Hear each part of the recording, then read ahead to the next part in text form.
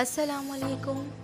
To to YouTube channel S K counselling learning point hope you all are fine dear student आज की video में मैं आपको बताऊँगी कि आपने बोर्ड के पेपर्स में किस तरह की इंक इस्तेमाल करनी है, किस टाइप का पेन आप यूज़ कर सकते हैं बोर्ड के पेपर में।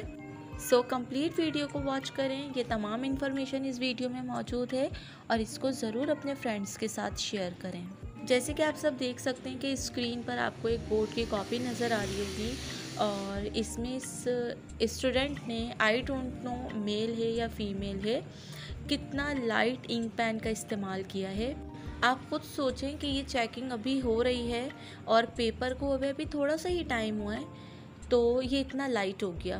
अब अगर यही copy after two months check होती यानी कि दो महीने बाद चेक होती तो फिर तो ये और भी विजिबल नहीं होता। सो so, आप इस तरह की इंक इस्तेमाल करें पेपर में। इतनी वो डार्क हो कि आपको खुद आइडिया हो कि ये तकरीबन तीन से चार महीने तक के अच्छी तरह आपका लिखा हुआ विजिबल होगा।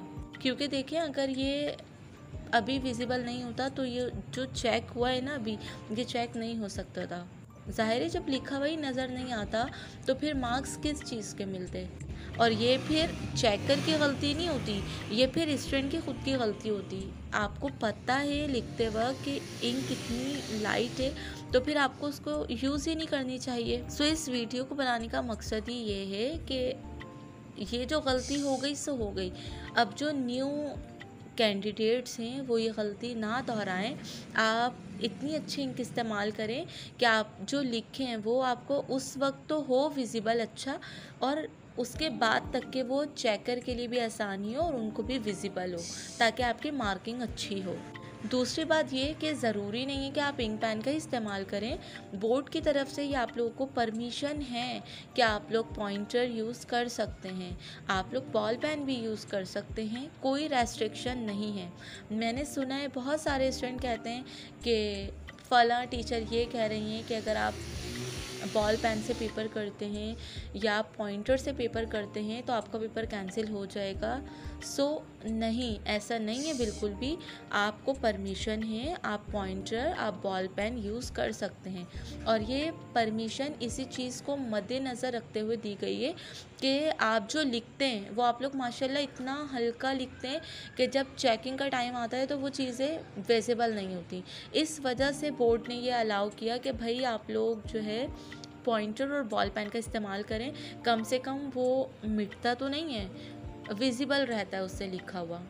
सेकेंड चीज़ इंक रिमूवर इस्तेमाल ना करें, क्योंकि आप इंक रिमूव इस्तेमाल करते हैं तो उससे आप रिमूव तो कर देते हैं, लेकिन उसके आगे के जो दो, तीन पेजेस होते हैं, वहाँ पर उसके केमिकल का असर बाकी होता है। तो उस वक्त तो वो लिखा हुआ आपको नज़र आ रहा होता है बट आफ्टर दैट जब हम टू और थ्री मंथ्स बाद आपकी कॉपी को ओपन करते हैं तो वो वहाँ से रिमूव हो चुका होता है। अब आपने तो लिखा है, हमें तो नहीं पता ना कि आपने वो सही लिखा या गलत लिखा, वो तो मिट चुका है। तो वहाँ से भी फिर आपके मार्क क्या होते हैं? डिडक्ट हो जाते हैं। तो इस चीज़ का बहुत ख्याल रखें कि पेपर में लाइटिंग का इस्तेमाल ना करें, दूसरा इंक रिमूवर यूज़ ना करें और तीसरा, आपको बॉल पेन और आपको पॉइंटर अलाउ है सो आप कोशिश करें कि पेपर में इसको यूज़ करें। इन केस अगर आपसे कुछ गलत हो जाता है तो आपके पास पेंसिल मौजूद है। बिल्कुल हल्की सी आप एक लाइन वहाँ मार्क कर दें। पता चल जाएगा कि भाई ये लाइन दली हुई है, ये क्रॉस हुआ हुआ है सो उसके नंबर लेस नहीं होंगे। आई होप नेक्स्ट टाइम आप लोग इस चीज़ का बहुत ख्याल रखेंगे। इस वीडियो को ज़रूर न्यू कमेंट्स के साथ शेयर करें। अगर आप चैनल पे न्यू हैं तो चैनल को सब्सक्राइब करें, चैनल को लाइक करें। Thank you for watching.